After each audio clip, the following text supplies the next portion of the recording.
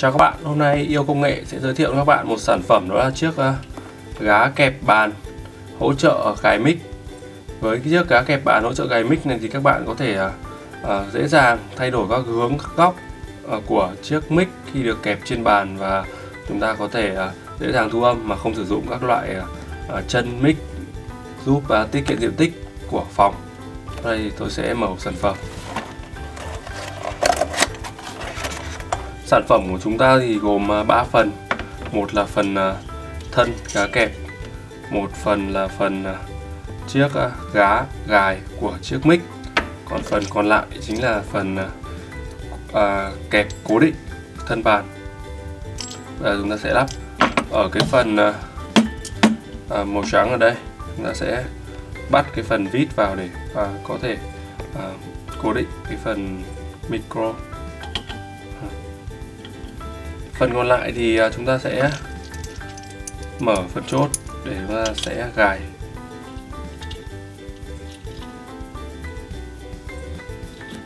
Sau đây thì chúng ta sẽ kẹp phần cá kẹp này vào cái phần à, mép bàn.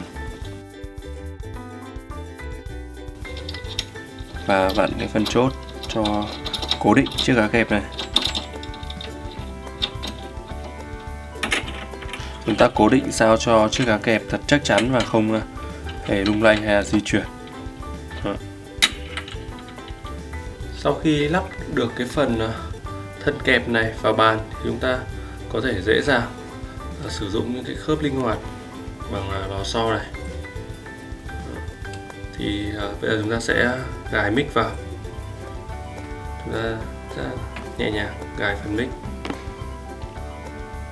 sau khi gài được phần mic thì chúng ta có một cái phần cố định. Chúng ta cố định cái hướng. Nếu chúng ta muốn đặt à, cái này thì người nói thì chúng ta có thể cố định hướng này.